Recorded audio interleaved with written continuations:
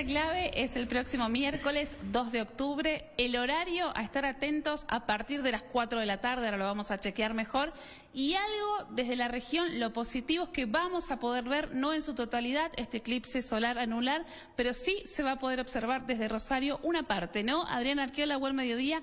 ¿Qué vamos a poder ver? Que es lo que todos están preguntando. Muy buenos días para todos. Bueno, sí, la verdad vamos a ver la parte regional de nuestra provincia un 40% de la superficie del sol eclipsada por la luna, que no es poco, la verdad que es un fenómeno muy significativo, digno para compartir, pero siempre con la seguridad y la precaución porque la observación solar puede causar daños irreparables en la vista. La única forma es utilizar un vidrio de máscara de soldar y observarlo durante un segundo y dejar. Eso es lo importante, mantener siempre la precaución, no utilizar entre instrumentos ópticos, así que bueno, eso es lo más importante para destacar. ¿eh? ¿Qué pasa con las plaquitas de radiografía que a veces se usan? No, no, no, no es, no es eh, recomendable porque puede pasar en la parte velada más radiación y puede sufrir daños en la vista del observador. Así que solamente DIN 14, que es el vidrio que se puede utilizar para eh, observar el eclipse eclipse de sol durante un intervalo muy corto solamente. ¿eh? ¿Desde qué horario va a estar más atentos, Adrián? 17.30 en adelante, el máximo 17.35 hora para, para el cálculo para nuestra región, ¿eh? para Rosario y alrededores.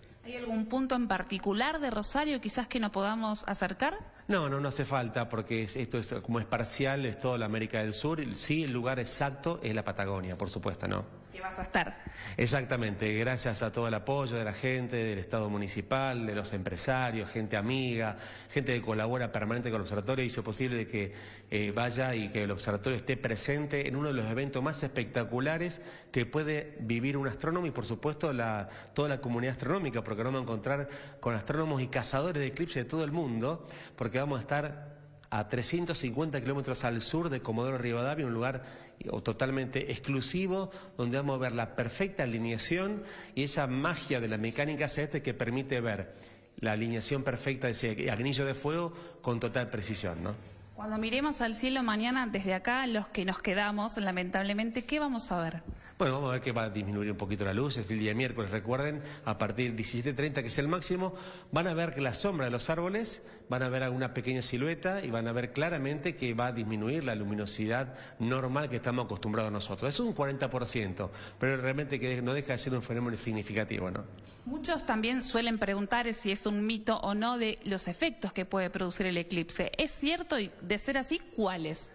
En realidad no se puede, no hay comprobación científica, pero yo siempre digo lo mismo, eh, depende de cada uno, qué es lo que quiera. Yo creo que el universo es perfecto, la maravilla del universo que nos da tantas cosas para compartir y tanto que nos enseña todos los días, yo creo que es muy importante y cada uno puede tomarlo de la mejor forma y siempre positivo. Y el universo y toda la magia de la mecánica celeste siempre va a dar resultado y va a dar siempre lo que uno busca, sin dudas. ¿eh? Adrián, paralelamente al eclipse, ¿qué es el llamado o el mal llamado cometa del siglo? Bueno, en realidad los cometas son los objetos más inestables del sistema solar. ¿Qué es un cometa? Una gran bola de nieve. Entonces, por la presión de la radiación solar, a veces es muy difícil predecir la condición de visibilidad. Toda persona quiere ver un cometa brillante, como el cometa Halley, como el Hyakutake, como el Hale-Bopp y como el cometa más, el más cercano brillante, el Magno del año 2007. Pero bueno, este venía muy bien. Hasta ahora, las imágenes que estamos tomando nosotros de los observatorios de Funes son muy lindas, son espectaculares, pero para el ambiente astronómico con equipos, a simple vista todavía falta y hay que esperar cómo reacciona después a partir de que pase por detrás del Sol, a partir de la, eh, después del 12 de octubre seguramente vamos a estar informando qué condición de visibilidad. ¿Puede llegar a ser que lo veamos nosotros? Ojalá, es muy difícil la predicción cuando hablamos de un objeto muy inestable. Repito, una bola de nieve y la radiación solar hace que no, no tengamos con precisión como un eclipse, por ejemplo, que no puede alterar la condición de visibilidad. Los cometas sufren cambios físicamente de un día para otro, pueden ser muy brillantes o se pueden desintegrar. Así que hay que estar muy atento a la evolución de este fenómeno. ¿no? Por lo pronto, la cita fija la tenemos el miércoles. Exactamente. El Observatorio de Funes no va a trabajar con el público porque vamos a estar en expedición, pero aquellos que quieran observarlo de su casa, por favor, fundamental, las precauciones para que no se quemen la vista, no utilicen ningún tipo de instrumento óptico, solamente un filtro de máscara de soldar durante uno o dos segundos y descansamos. Así lo pueden registrar cómodamente. Gracias, Adriana Arqueola del Observatorio de Funes. Ana, Juan Pedro, entonces, anoten el miércoles 2 de octubre, 5 y media de la tarde, 17 y 35, para ser más precisos, vamos a poder ver un 40% del eclipse, pero es un fenómeno para no perderse y por supuesto hacerlo, como nos decía también Arqueola, con muchísima precaución. Claro. Y aparte eh, lo vamos a notar, ¿no? Por- mm, intuyo yo, porque el oscurece. 40% se empieza a oscurecer. Ya lo hemos visto alguna vez a esto. Y va a ser a la tarde. Se va a notar, ¿no? Vamos a consultarle. Se va a notar, va a estar un poco más oscuro a la tarde, ¿no? Sí, en realidad no como el, el último eclipse que tuvimos en el 2020, que Eso. también fue total anular en la Patagonia, pero acá bajó notablemente, era un 80%. Acá vamos a notarlo, pero no tanto como en otras oportunidades.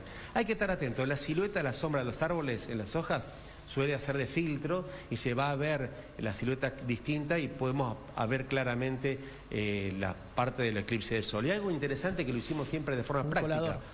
Uno puede tomar el antiguo clásico colador de pastas Claro. de metal que tienen nuestras abuelas, ¿sí? Uno puede proyectar a hacer sombra en el suelo y van a ver claramente la silueta del eclipse con total seguridad. Todos el miércoles buscamos el colador entonces también.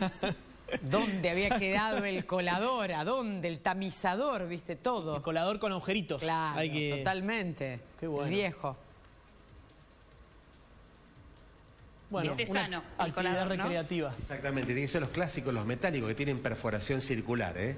Sí, y no ponerlo contra, para mirar el sol, sino No, no. al revés, que la luz proyecte. Claro. Lo claro, ya veo que hay gente que nos pone Claro, a ver mirando, el- a ver. con el- Y bueno. puede bueno. pasar, ¿viste? Cada uno interprete como Para la sombra, para sí. que haga la sombra. Y verlo, Claro. ver la sombra en el piso. Gracias, Rocío. Eclipse clase 1 sería, ¿viste? Como ver un eclipse clase 1. Las Bien. cosas que uno aprende haciendo móviles. Y bueno. Bueno, gracias, Rocío. Seguimos.